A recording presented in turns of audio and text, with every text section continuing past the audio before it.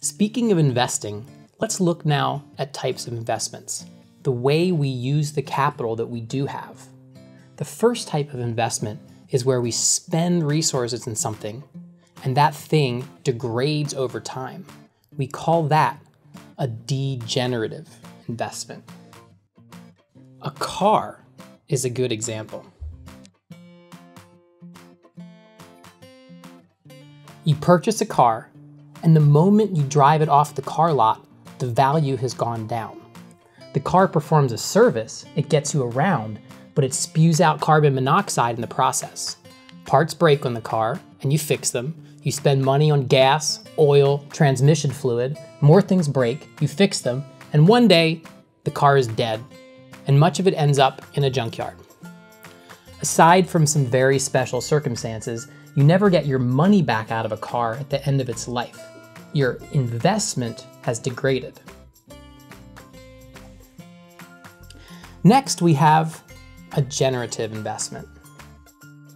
A generative investment is where you put resources into an investment and then you get back out according to the effort you put in. Annual agriculture is a lot like that.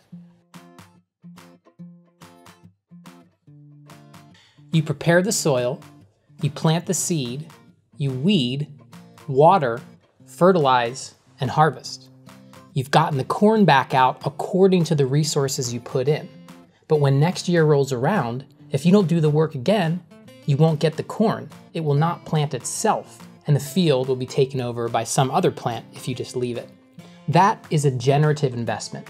You put in, you get out, and you're back to where you started.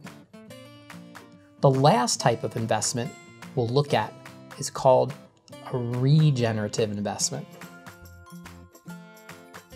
This is an investment which actually gets better over time. Let's take a fruit tree, for example.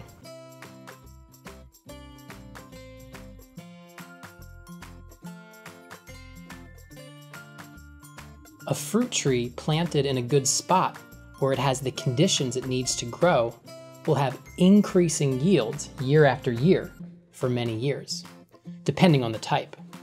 You need to prepare the place, invest the time and effort to plant it, and see it through to establishment. But then it grows year after. In fact, someday you could be gone and your children or grandchildren can still be enjoying the fruit. That tree actually gets better every year and it provides shade, habitat, and a windbreak it holds the soil, it produces wood, leaf mulch, and kids love to climb them.